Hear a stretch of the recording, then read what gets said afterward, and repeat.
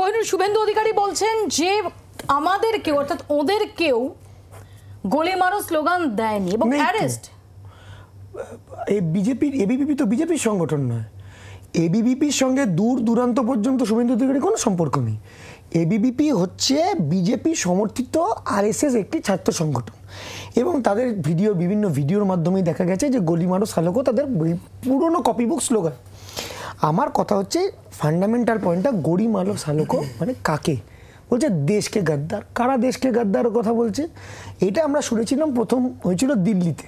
যারা এনআরসি এবং সিএ এর বিরুদ্ধে আন্দোলন করছে, তারা দেশকে গাদ্দার।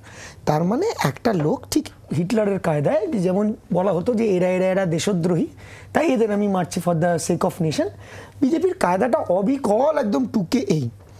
দেখুন, যদি আজকে এখানে কেয়াদি বলল যে নির্দোষ লোকেরা গ্রেফতার হয়েছে। তার মানে আমার দৃঢ় বিশ্বাস যারা এখনও পর্যন্ত গ্রেফতার হয়েছে বা কলকাতা পুলিশ গিয়ে গ্রেফতার করেছে, তারা নির্দোষ বলেই বিজেপি বিশ্বাস করে। মানে যে এরা এই ডাব্লিউটিআই এসএফআই বা এসএফআই সমর্থিত ডিএসএফ ইত্যাদি ইত্যাদি যারা গ্রেফতার হয়েছে, যারা বুঝতে পেরেছে পুলিশ, তার বিরুদ্ধে ম্যাটেরিয়াল আছে, তারা নির্দোষ লোক। বিজেপি এদের পাশে দাঁড়াচ্ছে কেন আমি জানি না। কিন্তু একটা কথা খুব না। না এটা গাধাতেও হাসছে। ঘোড়াকে তো অনেক দূরের কথা। আমি এই অ্যানালজি আমি- আমি আমি দেখছি দেখতে পাচ্ছি। তৃণমূল বাদে। হ্যাঁ। এবার একটা জিনিস খুব পরিষ্কার। যে মাথার উপর কাকে বসাচ্ছে? অ্যাডমিনিস্ট্রেশনের মাথা ইউনিভার্সিটি তো অটোনোমাস বলে আমি জানি। সেই মাথার উপর কাকে বসাচ্ছে? বাংলার আওয়াজ বাঙালির আবেগ। জি চব্বিশ ঘণ্টা।